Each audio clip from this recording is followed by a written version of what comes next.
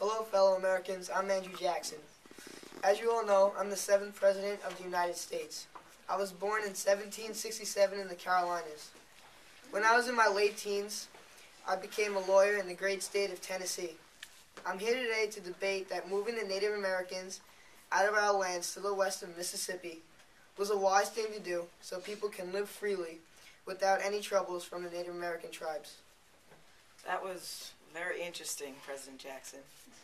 Hello, I am a Native American from the Cherokee tribe, and I'm mad at Andrew Jackson because he made me move out of my home in Georgia.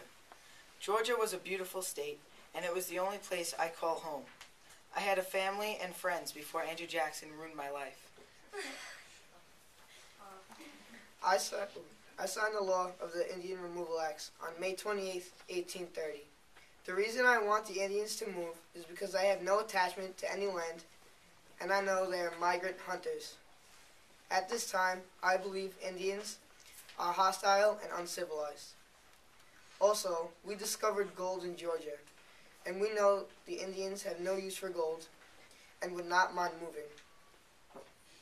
He kicked the Cherokees off of the reservation and made us take a terrible journey, which I call the Trail of Tears.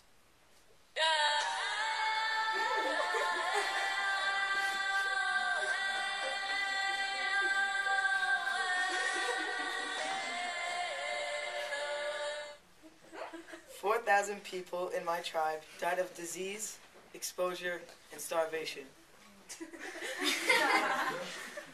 if Andrew Jackson didn't pass the Indian Removal Act, I would still have my family. The land that we are going to give the Indians west of the Mississippi will be their land where they could live freely without any problems. He made us move because white settlers wanted to use our land to grow cotton. I don't think it's fair that we had to move and lose most of our members for rich people to grow cotton. He thinks we are so hostile, but we use every part of the animals and hunt every part of the animals we hunt and we respect them. All we can think about, all he can think about is himself and money.